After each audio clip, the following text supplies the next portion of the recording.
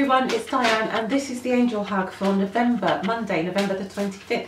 And before I start, I just want to say thank you so much for your comments because some of them I find so, so touching.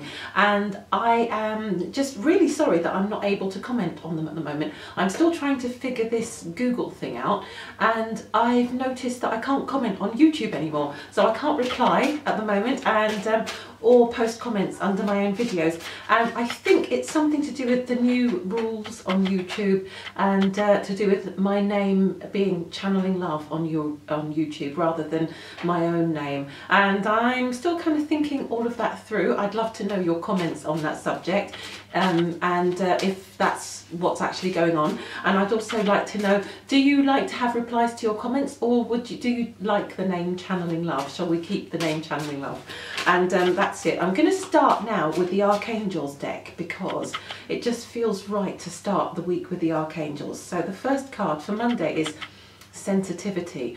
Right, so I also want to mention, because my friend Mimi, who's a great astrologer, reminded me that it's um, we're in Sagittarius now. So in other words, the sun is in Sagittarius. So the next month or so is going to be about expanding our horizons, um, looking at infinite possibilities, looking at expanding our minds, expanding our consciousness, teaching and learning, and all of those other Sagittarian influences are going to be coming into play. And the card that I've picked is sensitivity. So I really want to remind everyone who is being prevented from moving forward by their sensitivity or by any fears that um, that they will be incurring anything that they won't be able to handle as a result of moving forward and expanding and going beyond comfort zones to just really take note of, of the message. The message is honour your sensitivity um, and also I have to say the way it comes into play with that Sagittarian energy is honour your sensitivity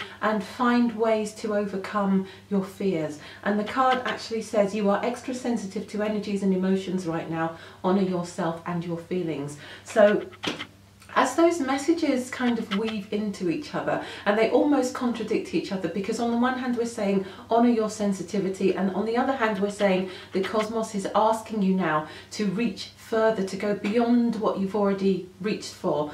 And um, we just need a way to move through those doubts and fears into those new horizons and possibilities. So I'm going to ask what do we need to know about how to overcome our fears and move into this new energy of light and possibility and expansion?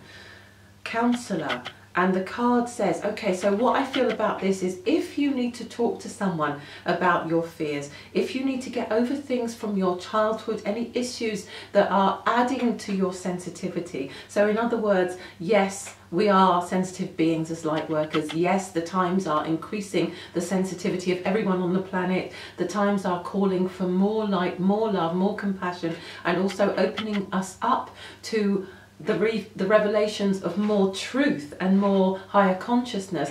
At the same time, sometimes our sensitivities are made even more acute by things that we've experienced throughout our lives that have stuck to us and that have told us that, you know, we can't move forward, that we can't be all that we came here to be, that we can't expand beyond those boundaries and limitations. So Monday is going to be a day to honour our sensitivity, but also begin to embrace wider and more infinite possibilities by checking in with who we are, where we've been, and where those things might be causing us to feel limited or to limit ourselves. The card is also a card for counsellors, so if you have a natural ability to counsel and to help others, then it may be a day to look at moving into that uh, possibility. Looking for some education because we're also in that energy of teaching and learning. Looking for some education that will lead you along that path securely and also knowing that that is possibly the sort of career that will allow you to honour your desire to do something that makes a difference in the lives of others but also to not be constantly confronted with this big vision and stars and and you know whistles and bells. So that's it for today everyone. Enjoy whatever you choose to enjoy. Enjoy a deeper expansion as well if that's what you choose. If that's what your sensitive nature asks of you, that you go deeper, that you expand deeper into consciousness, that you develop your gifts further, that it's the mind that becomes more expanded rather than necessarily the physical horizons. Just trust your nature, trust what you feel from within about what you need most today, and have a great Monday. We'll be back tomorrow. Thanks for watching. Bye.